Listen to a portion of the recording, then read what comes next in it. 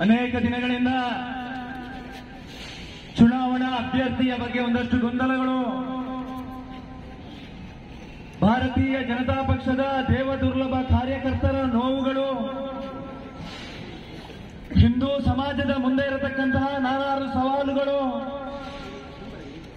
ಇವೆಲ್ಲದಕ್ಕೂ ಈ ಬಾರಿಯ ಚುನಾವಣೆಯಲ್ಲಿ ಉತ್ತರವನ್ನು ಕೊಡಬೇಕು ಅನ್ನುವಂತಹ ಯೋಚನೆಯಲ್ಲಿ ಅಭ್ಯರ್ಥಿಯ ಘೋಷಣೆಯ ನಂತರ ನಡೆದಿರತಕ್ಕಂತಹ ಬೆಳವಣಿಗೆ ಈ ಕ್ಷೇತ್ರದ ಮಹಾಜನತೆಗೆ ಗೊತ್ತಿದೆ ಅಂತ ನಾನು ಭಾವಿಸಿದ್ದೇನೆ. ಇವತ್ತು ಪಕ್ಷೇತರ ಅಭ್ಯರ್ಥಿಯಾಗಿ ಯಾಕೆ ನಾಮಪತ್ರ ಸಲ್ಲಿಸಬೇಕು? ಹಿಂದುತ್ವದ ಆಧಾರದಲ್ಲಿ ಈ ಚುನಾವಣೆಯನ್ನ ಗೆದ್ದು ಒಂದು ಒಳ್ಳೆಯ ನಾವು ನಿಮಗೆ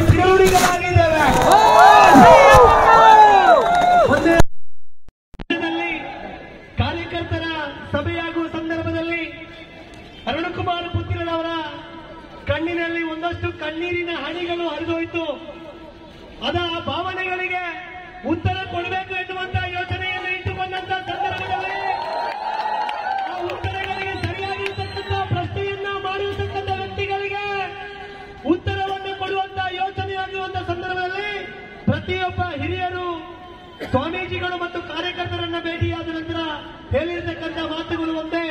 ನೀವು ಪಕ್ಷೇತರರಾಗಿ ಸ್ಪರ್ಧೆಯನ್ನ ಮಾಡಬೇಕೆನ್ನುವ ಯೋಚನೆಯಲ್ಲಿ ಇವತ್ತು ಮಾಲಿಂಗೇಶ್ವರ ದೇವರ ಬಲಿಯ ಸಂದರ್ಭದಲ್ಲಿ ಮಾಲಿಂಗೇಶ್ವರ ದೇವಸ್ಥಾನಕ್ಕೆ ತೆರಳಿ ಪ್ರಸಾದವನ್ನು ಸ್ವೀಕರಿಸಿ ಸ್ಪರ್ಧೆಯಿಂದ ನಾವು ನಡೆದಾಡಿಕೊಂಡು ಇಲ್ಲಿಗೆ ಬಂದಿದ್ದೇವೆ.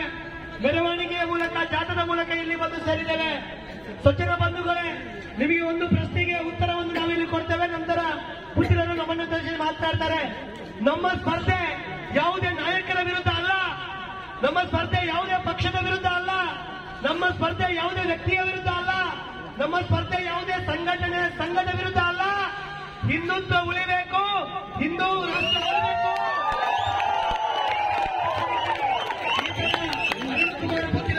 ನಾವು ಸಾವಿರಾರು ಮತಗಳಿಂದ ಪುತ್ತೂರಿನಿಂದ ಪಕ್ಷೇತರರಾಗಿ ಗೆಲ್ಲಿಸಿ ನರೇಂದ್ರ ಮೋದಿ ಅವರಿಗೆ ಬೆಂಬಲವನ್ನು ಕೊಡುವಂತ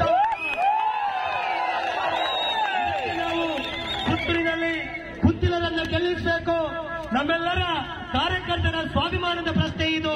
ಕಾರ್ಯಕರ್ತರ ಅಸ್ಮಿತೆಯ ಪ್ರಶ್ನೆ. ನೂರಾರು ಕಾರ್ಯಕರ್ತರ ಬಲಿದಾನಕ್ಕೆ ಉತ್ತರವನ್ನು ಕೊಡಬೇಕಿದ್ರೆ, ನ್ಯಾಯವನ್ನು ಕೊಡಬೇಕಿದ್ರೆ ನಮ್ಮ ಪುತ್ತಿಲರನ್ನ ಗೆಲ್ಲಿಸಬೇಕು ನಾವು. ಐದು ನಿಮಿಷದಲ್ಲಿ ನಾಮಪತ್ರ ಸಲ್ಲಿಕೆ ಆಗ್ತದೆ. ಈಗ ಎಲ್ಲ ಬಂದಿರತಕ್ಕಂತ ದೂರ ದೂರದ ಕಾರ್ಯಕರ್ತರನ್ನ ಮತ್ತೆ ನಾವು ತುಡಿಬಿಸಿಲ್ಲ ನಿಲ್ಲಿಸೋ ನಿಲ್ಲಿಸೋದಿಲ್ಲ. ಮನದ ಮಾತಿನ ಮೂಲಕ ಅವರು